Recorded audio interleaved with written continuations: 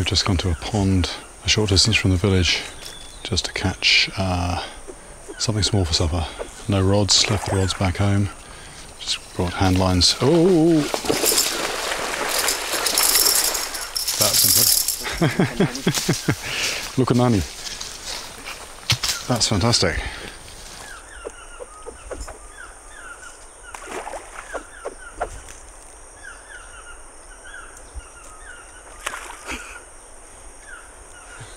First cast over a branch. Yep. My next cast, I was treading on the line.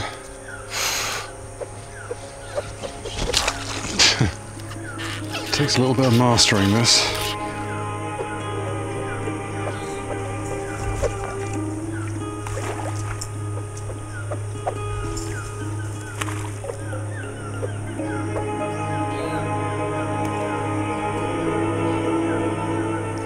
Like the simplicity of handlining. Particularly travelling with rods, you know, still be unpacking them, delving under the tarpaulin, putting them together. The fact that you can just uh, put it in your pocket and off you go. If you work too much to get your food, why bother?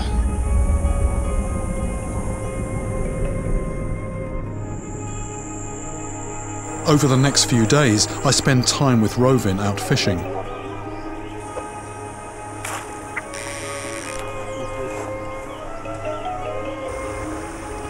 It feels like we're on the same wavelength, kindred spirits who love nothing more than being out in the wild, fishing. But despite all our angling, there's been no sign of any monsters.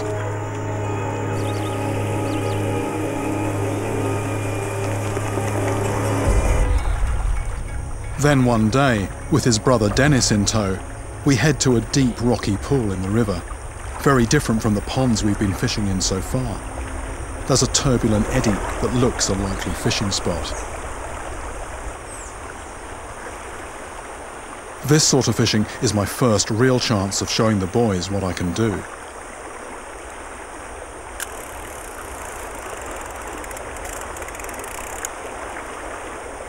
The minute my bait hits the bottom, I make contact.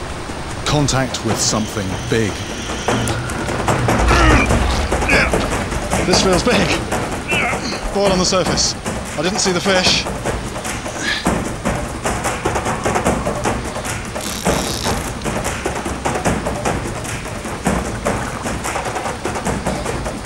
What I do know is that whatever I've hooked is too big to fight from the canoe.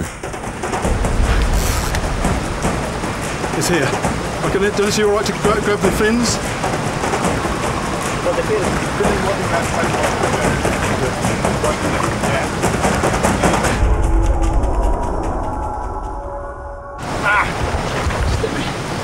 This is what they call a jau. Very, very solid bodied, and they love fast, rocky water like this. This was more or less straight under the boat. This has also got a reputation for being quite an aggressive catfish, grabbing other people's legs and things like that.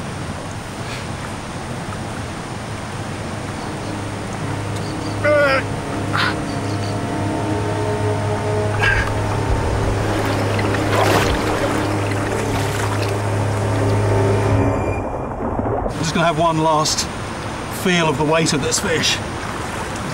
Ah, my goodness.